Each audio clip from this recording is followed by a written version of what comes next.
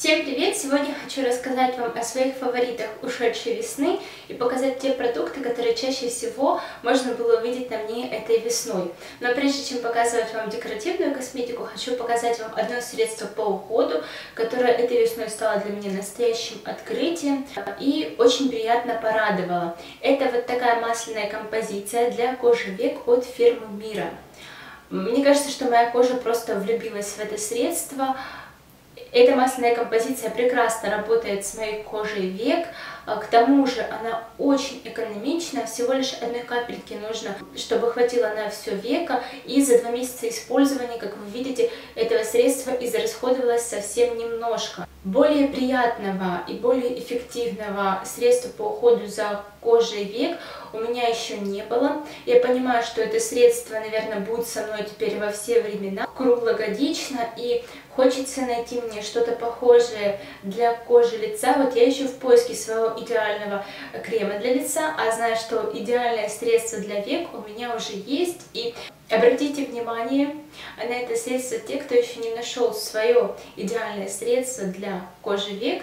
Для меня это очень приятное и радостное открытие. Каждый вечер пользуюсь этим средством с большим удовольствием и не нарадуюсь на него. Ну что ж, перейдем теперь к средствам из декоративной косметики. Начнем с тональной основы. Так как у нас весна была двойственная такая, в начале, в март, можно было сказать, что это была зима, а потом зима плавно перешла в лето, и как таковой весны не было, поэтому вот в моих фаворитах будут разные продукты, можно сказать, и зимние, и летние, которыми я пользуюсь в разные времена года. А тональной основой в марте я пользовалась вот такой жидкой тональной основой от фирмы Мира. Нравится мне состав этого средства, нравится, как оно работает с моей кожей. С удовольствием им пользовалась, думала, что этой весной его закончу, но так как лето настало гораздо раньше, и вот такие жидкие тональные основы для моей кожи уже не подходят, э, на лето я люблю что-то гораздо более легкое, то я пользовалась минеральной основой. Смотрите, что это вот такая маленькая баночка. А, в прошлом летом вот такой маленькой 5-граммовой баночки мне хватило на все лето. И я просто не вижу смысла покупать больше. Почему в этот раз э, я купила такую маленькую баночку? Я еще подыскивала свой идеальный тон тональной основы. В принципе, я с ним определилась. И, может быть, туда дальше я куплю полноценную версию, так как э, минеральные средства не имеют срока годности, э, смогу использовать его спокойно, пока она не израсходуется. Минеральная косметика, по крайней мере, в том варианте, как я ее использую, мне хватает ее надолго. В качестве консилера, уже когда я использовала минеральную основу, я использовала свой тональный крем от Миры. Он прекрасно сочетается вместе с такими сухими минеральными основами. Э, я его использовала на какие-то недостатки, несовершенства кожи и поверх использовала э, минеральную основу.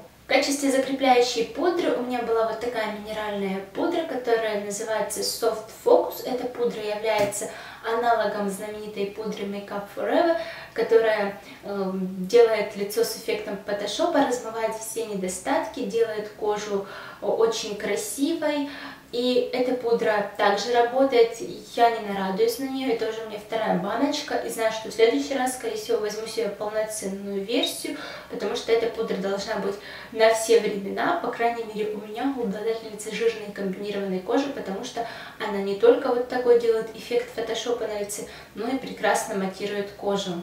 Следующее приятное открытие этой весны для меня это были румяна от Faberlic, которые идут в, в номере 6081 и называются «Бархатное сияние». У меня всегда были сложные отношения с румянами, потому что именно в тех местах, куда наносятся румяна, чаще всего у меня бывали какие-то воспаления. Если же они проходили, то оставались следы от этих воспалений. И румяна только подчеркивали эти воспаления, и я понимала, что лучше вообще не буду пользоваться румянами, чем привлекать внимание дополнительное к этим местам. Но с этими румянами все по-другому. Это такой универсальный цвет. Это такие румяна, которые обладают не очень большой пигментацией, их можно наслаивать, но с ними невозможно сделать ошибки, невозможно сделать пятно, невозможно переборщить. Поэтому для меня это оптимальный вариант, и что меня радует, они не подчеркивают красноту и какие-то недостатки кожи. В моем случае это идеальный выход из положения, теперь я пользуюсь румянами каждый день, вне зависимости от состояния своей кожи, что меня очень радует.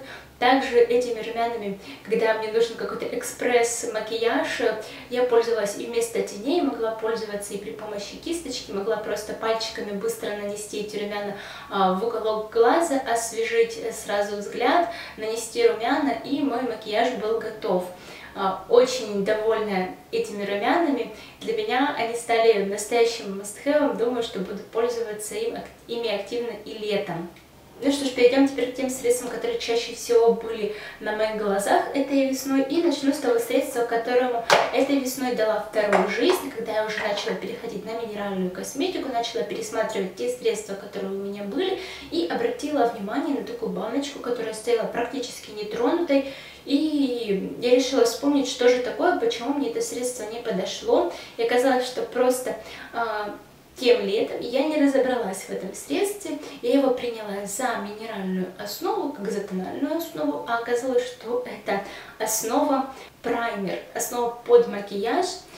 Действительно, это прекрасное средство в качестве праймера, она хорошо матирует кожу, ее можно использовать и как на все лицо, и в качестве базы а, для век, и вот это средство мне очень понравилось как база под тени, потому что мое лицо, если использовать на все лицо, слишком выбеливала эта база, но в то же время, если использовать жидкое тональное средство, то вместе они работали довольно-таки хорошо, и она хорошо матировала мою кожу. Но если наносить это средство очень тонким слоем и влажным способом на веки, то мои жирные веки, с которыми вообще наносить тени очень проблемно, а, она спасала спасала меня из такой проблемной ситуации и сдерживала тени, чтобы они никуда не скатывались. И они держались практически целый день. Э, я этим средством осталась очень довольна и рада, что не распрощалась с этим средством в свое время и дала ему второй шанс. Как я уже говорила, в этом году весна все никак не хотела к нам приходить, и на зло погоде, на зло морозу и снегу, который выпал в марте, я решила делать какие-то яркие, по-настоящему весенние макияжи, что для меня абсолютно не свойственно. И э, вообще я всегда боялась экспериментировать с какими-то яркими цветами на своих глазах. Но этой весной, в моем понимании, я просто разошлась и э, далась волю экспериментам. Первые тени, которые начали э, ряд моих экспериментов, вот такие, очень необычного, такого зеленого цвета, разбавленного молоком, очень необычный оттенок. Редко, мне кажется, такие оттенки можно встретить. Это минеральные тени, э, которые при сухом нанесении будут также выглядеть на глазах если наносить их влажным способом, то это получится совершенно другой оттенок, получается более глубокий, насыщенный, более темный зеленый оттенок, который идет еще с переливом. Очень красивые тени, мне кажется, будет необычайно красивый для вечернего макияжа. И Кому интересно, это тени фирмы Lumiere и называется оттенок у них Жаде. Оставлю ссылку э, на мой макияж с этими тенями, там не то, что макияж полноценный глаз, скоро скорее такие вот стрелочки очень яркие у меня были. Предвкушая необычайную красоту цветения деревьев, нежно-розовый цвет, который смешан с белым, я решила поэкспериментировать с розовым макияжем, и в этом мне помогала палетка Flor в 402 номере. Если осенью мне нравилось использовать вот такой темный оттенок, то весной использовала этот светлый и более темный, и мне очень понравилось, как они смотрятся на моих глазах. Никогда не думала, что розовые оттенки так подойдут мне, и мне нравилось сделать розовый макияж глаз, использовать нежно-розовые румяна. И меня мучает вопрос, а, можно ли так делать, можно ли использовать а, в похожей гамме, очень а, похожего оттенка оттенки теней, допустим, делать розовые тени и э, наносить розовые румяна. Правильно ли это? Или это является ошибкой в макияже? С нетерпением буду ждать ваших комментариев по этому поводу, потому что этот вопрос не перестает меня волновать всю весну. Э, но мне кажется, если это освежает образ, делает наше лицо очень красивым, то почему бы и нет? В мае, когда начала цвести сирень, а я обожаю подобные оттенки во всем, и в цветах, и в одежде, и в тенях. Очень люблю все оттенки сиреневого, фиолетового, лавандового цвета. Для меня это настолько любимые, настолько приятные к моему глазу оттенки, что, конечно же, в мае чаще всего на моих глазах э, были тени Катрис в 050 номере. Вот этот светлый оттенок я использовала на все веко, и сегодня он у меня на глазах. А затемняла уголок глаза я при помощи вот такой маленькой и бюджетной палетки от Marilyn, при помощи вот такого красивого яркого фиолетового оттенка. И сегодня он у меня тоже на глазах. Очень нравится мне комбинировать вместе тени Катрис и Мэрилин, и несмотря на то, что они бюджетные, на глазах они смотрятся довольно-таки хорошо. Подводкой, которой я пользовалась этой весной и зимой, которая мне вообще очень нравится, это ультратонкая подводка от Art Visage. У нее очень тоненький кончик, вот такой, который позволяет рисовать тончайшие стрелки. При желании можно сделать их более толстыми, но мне нравится делать стрелочки очень-очень тоненькими у самого края ресниц, слегка подчеркивая реснички таким образом и делая макияж более натуральным и более естественным. Тушью, которой я пользовалась этой весной, была тушь от Faberlic, э, которая называется «Моя любимая», прям в тему сегодняшнего видео о фаворитах. Почему я использовала одну тушь? У меня такое правило, что э, я начинаю одну тушь и пользуюсь ей 3 месяца, потому что рекомендовано использовать тушь в течение 3 месяцев, чтобы потом не было никаких проблем с глазами. Сколько я тушей э, за свою память не перепробовала, еще ни одна тушь у меня в течение 3 месяцев не засыхала. Ей можно краситься и дальше, просто я считаю, что это будет нежелательно, особенно с моими чувствительными глазами. Э, и еще не было такого, чтобы какая-то тушь с моими глазами работала плохо. А эта тушь мне очень понравилась, так как ее щеточка буквально идентична легендарной туши от. А, она дает такой же эффект, как и тушь от Gourmandise, и хороший объем, и хорошее удлинение ресница. И еще больше мне нравилось как легко эта тушь смывается. Просто удовольствие было вечером снимать эту тушь с глаз. Этой тушью я осталась довольна. И средства, которые чаще всего были на моих губах, это вот такой блеск от фирмы WoW, который сегодня тоже на моих губах находится. Очень приятный оттенок. Его можно делать как прозрачным на все губы, так и наносить вторым слоем, и он становится вот такого более насыщенного цвета, как и во флаконе. И второй блеск, который мне тоже очень нравится, это блеск от Color Me в 414 оттенке, очень натуральный и дает очень красивое сияние, и губы с ним объемные становятся. Такие фавориты были у меня для губ. И любимые лаки этой весны, это все открытия, это все новинки для меня, по крайней мере. Вот такой вот лак от Faberlic, он идет в номере 7058. Для меня это очень необычный цвет, потому что я не могу дать ему название. В то же время он и розовый, он уходит и в персик, и отливает золотом, и припыленной розой отдает.